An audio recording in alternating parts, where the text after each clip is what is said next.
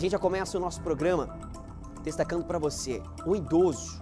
Ele acabou ficando ferido após, segundo informações da PM, ir até a casa da ex-convivente. Ele estava embriagado, causou um transtorno danado na frente da casa da mulher, fez ameaça contra a vítima. Segundo a PM, o intuito dele era ir lá para caçar confusão mesmo. Ele caçou confusão e acabou saindo de lá, de lá machucado, acabou saindo de lá ferido, por conta que a mulher acabou agredindo ele. Aí, fi, o tiro saiu pela colatra, meu querido. O Alfredo Neto tem as informações, põe na tela do Pulseira. Vamos lá.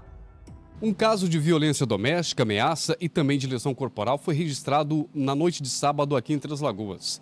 Por volta das 18 horas, uma viatura da Força Tática foi chamada para comparecer na rua Bruno Garcia, cruzamento com a Avenida Padre João Tomes, no bairro Quinta da Lagoa.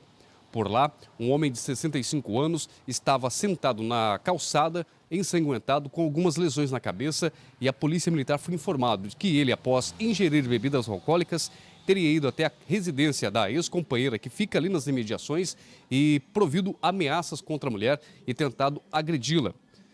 Na tentativa de se defender, a mulher acabou lesionando o idoso, que acabou caindo na calçada e sendo resgatado por populares.